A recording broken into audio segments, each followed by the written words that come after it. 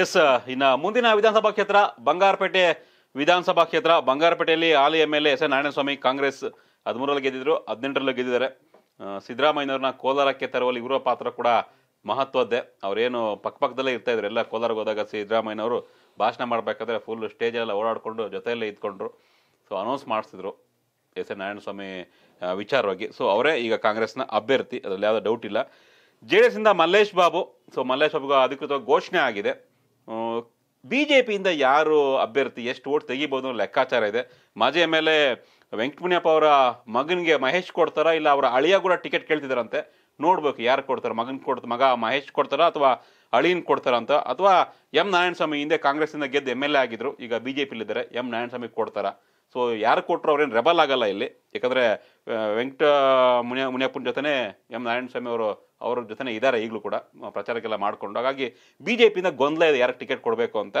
But ಈ ಕ್ಷೇತ್ರ ಕಾಂಗ್ರೆಸ್ ಮತ್ತೆ ಜೆ ಡಿ ಎಸ್ಗೆ ಒಂದು ರೀತಿ ಪೈಪೋಟಿಯಾಗಿ ಇದೆ. ಸದ್ಯಕ್ಕೆ ಮಲ್ಲೇಶ್ ಬಾಬುಗೆ ಲಾಸ್ಟ್ ಟೈಮು ಕೆಲವೊಂದಿಷ್ಟು ಅಧಿಕಾರಿ ವರ್ಗದಲ್ಲೇ ಕೆಲಸ ಮಾಡಿದ್ರು ಅನ್ನೋ ಒಂದು ಇತ್ತು ಬಟ್ ಗೆಲ್ಲಕ್ಕಾಗಿಲ್ಲ. ಈ ಬಾರಿ ಇವರು ಮಲೇಶ್ ಬಾಬು ಅವರು ನಮ್ಮ ಮಂಜುನಾಥ್ ಪ್ರಸಾದ್ ಇದಾರಲ್ಲ ಅವರ ಸಂಬಂಧಿಕರು. I S officer S S ಅವ್ರ ಸಂಬಂಧಿಕರು ಇವರು. ಸೊ ಸ್ವಲ್ಪ ಕುಮಾರಸ್ವಾಮಿ ಅವರ ಬಲದ ಜೊತೆಗೆ ಕೆಲವೊಂದಿಷ್ಟು ಅಧಿಕಾರಿತವಾಗಿ ಕೆಲವೊಂದಿಷ್ಟು ಬಲ ಇದೆ ಅನ್ನೋ ಒಂದು ಮಾತು ಕೇಳಿ ಬರ್ತದೆ ಈಗ. ಸ್ವಲ್ಪ ಚೆನ್ನಾಗಿ ಎಲೆಕ್ಷನ್ ಮಾಡಕ್ ರೆಡಿ ಆಗಿದಾರಂತೆ ಈ ಬಲ ಅಲ್ಲಿ ಏನಾಗಿದೆ ಅಂದ್ರೆ ಬಂಗಾರಪೇಟೆನಲ್ಲಿ ಎಸ್ ಎನ್ ನಾರಾಯಣ ಸ್ವಾಮಿ ಸೋಲಿಸಲೇಬೇಕು. ಸೋಲಿಸಲೇಬೇಕು ಅಂತ. ಬಿಜೆಪಿಗೆ ಒಂದು ಬಿಜೆಪಿ ವರ್ಸಸ್ ಕಾಂಗ್ರೆಸ್ ಫೈಟ್ ಆಗ್ತಿತ್ತು. ಬಿಜೆಪಿಲಿ ಏನಾಯ್ತು ಅಂತಂದ್ರೆ ಈ ಅಧಿಕಾರದಕ್ಕೋಸ್ಕರ ಕಿತ್ತಾಟ ಆಯ್ತು.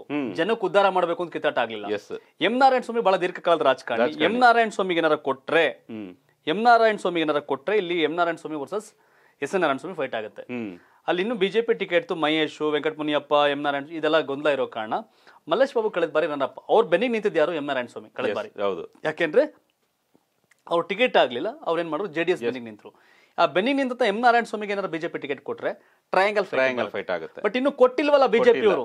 ಬಿಜೆಪಿ ಅವ್ರಿಗೆ ಏನ್ ಭ್ರಮೆ ಅಂದ್ರೆ ನಮ್ದು ರಾಷ್ಟ್ರೀಯ ಪಕ್ಷ ಡಬಲ್ ಇಂಜಿನ್ ಡಬಲ್ ಇಂಜಿನ್ ಅಂತಾರೆ. ಕೊನೆವರೆಗೂ ವೇಟ್ ಮಾಡೋಣ ಡಬಲ್ ಇಂಜಿನ್ ಅಂತಾರೆ. ಆ ಡಬಲ್ ಇಂಜಿನ್ ಕೆಲವೊಂದ್ ಕಡೆ ವರ್ಕೌಟ್ ಆಗಲ್ಲ. ವರ್ಕೌಟ್ ಆಗಲ್ಲ. ಮಲ್ಲೇಶ್ ಇಲ್ಲಿ ಏನು ಅಂದ್ರೆ Babu Mallesh Babu versus S N Narayana Swamy fight ಈಗ. ಎಸ್ ಎನ್ ನಾರಾಯಣ ಸ್ವಾಮಿ ಸೋಲ್ಸ್ಬೇಕು ಅನ್ನೋ ವರ್ಗ ಏನಿದೆಯಲ್ಲ? ಎಸ್ ಅದನ್ನ ಸೆಕೆಂಡ್ ಪ್ಲೇಸ್ ಅಲ್ಲಿ ಮಲ್ಲೇಶ್ ಬಾಬು ಇದ್ರೆ ಮಲ್ಲೇಶ್ ಬಾಬು ಹಾಕ್ತಾರೆ. ಎಂ ನಾರಾಯಣ ಸ್ವಾಮಿ ಬಂದ್ರೆ M Narayana Swamy vote so ಹಾಗಾಗಿ ನಾವ್ ಎಸ್ ಎನ್ ನಾರಾಯಣ ಸ್ವಾಮಿ ಸೋಲ್ಸ್ಬೇಕು ಅನ್ನೋದು ಏನು ಒಂದು ಗುಂಪು ಇದೆಯಲ್ಲ ಅದು ಮಲ್ಲೇಶ್ ಬಾಬು ಇದ್ರೆ ಮುಂದಿದ್ರೆ ಅವ್ರಿಗೆ ಆಗ್ತಾರೆ ಇವ್ರಿಗೆ ಆಗ್ತಾರೆ ಸೊ ಈ ಟ್ರೆಂಡ್ ಸೆಟ್ ಆಗಿದೆ ಅಲ್ಲಿ. ಎಸ್ ಎನ್ ನಾರಾಯಣ ಸ್ವಾಮಿ ವಿರೋಧಿ ಮತಗಳು ಚದುರಿದ ಕಾರಣ ವ್ಯತ್ಯಾಸ ಆದ ಕಾರಣ ಅವ್ರಿಗೆ ಅವಕಾಶ ಆಗಿತ್ತು. ಈ ಬಾರಿ ಎಸ್ ಎನ್ ನಾರಾಯಣ ಸ್ವಾಮಿ ಏನಿತ್ತಲ್ಲ ಟ್ರೆಂಡ್ ಎಸ್ ಅದು ಅದರ ವಿರೋಧಿ ಮತಗಳು ಮಲ್ಲೇಶ್ ಬಾಬು ಕಡೆ ಶಿಫ್ಟ್ ಆಗ್ತಿದೆ. ಸೊ ಮಲ್ಲೇಶ್ ಬಾಬು ಇಲ್ಲಿ ನಮ್ಮ ಜನವರಿ ಸರ್ವೆಯಲ್ಲಿ ಮುನ್ನಡೆ ಕಾಯ್ದುಕೊಂಡಿದ್ದಾರೆ. ಎಸ್ ಮುಂದಿನ ಕ್ಷೇತ್ರ. ಜೀನಿ ಅಂತ ಅನ್ನೋದು ಹೆಸರಲ್ಲೇ ಇದೆ ಜೀವನ ಅಂತ. ಅದು ಜೀನಿ ಕುಡಿದ್ರೆ ಜೀವ ಬರುತ್ತೆ ಜೀವನ ಸಿಗುತ್ತೆ. ಶಕ್ತಿ ಬರುತ್ತೆ ಅಂತ ಎಲ್ಲ ಹೇಳ್ತಾರೆ. ಅದನ್ನು ನಾವೆಲ್ಲರೂ ಹೇಳೋದನ್ನು ಕೇಳ್ತಾ ಇದ್ವಿ ಅದನ್ನು ನಾನು ಯಾವತ್ತೂ ಕುಡಿದಿದ್ದಿಲ್ಲ. ಇವಾಗ ನಾನು ಒಂದು ವರ್ಷದಿಂದ ದಿನ ಕುಡಿತಾ ಇದ್ದೀನಿ. ನನಗೆ ಎನರ್ಜಿ ಶಕ್ತಿ ಎಲ್ಲ ಎಷ್ಟು ಬಂತು ಅಂತಂದು ನನಗೆ ಹೇಳೋಕ್ಕೆ ಸಾಧ್ಯ, ಅಸಾಧ್ಯ.